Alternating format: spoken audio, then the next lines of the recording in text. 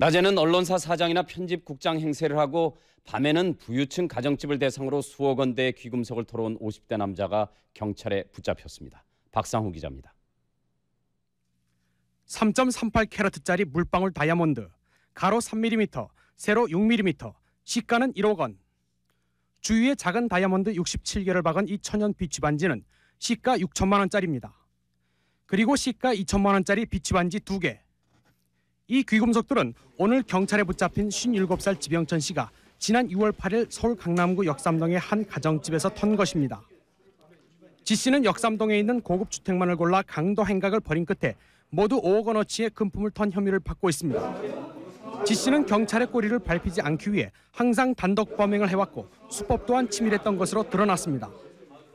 먼저 낮에는 사이비 언론사 편집국장으로 행세해 왔습니다. 이라든지 제일 깨끗하죠. 참. 하고 아주 매너도 좋아. 그럼 평소에 뭐 지사장 지사하죠, 그렇죠? 뭐 신문사는 제가 경영을 하던 거예요. 경영을 예, 직접요? 내가 신문사 사주였어요. 그러나 밤에는 강도로 돌변했습니다. 지 씨는 이처럼 지난 10년 동안 철저히 이중 생활을 해왔습니다. 수법도 절묘했습니다.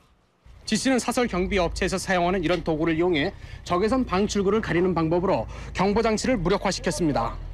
감지기에 붙여버리면 계속 전류는 흐르되 어, 범인이 침입하고 안 하는 것은 본부에서 모르는 겁니다. 지 씨는 보석 감정을 의뢰했다가 오늘 덜미가 잡혔지만 경찰은 그동안 벌였던 지 씨의 여죄를 계속 추궁하고 있습니다. 또 지 씨로부터 그동안 작물을 넘겨받았던 판매책 5명도 경찰에 입건됐습니다. MBC 뉴스 박상호입니다.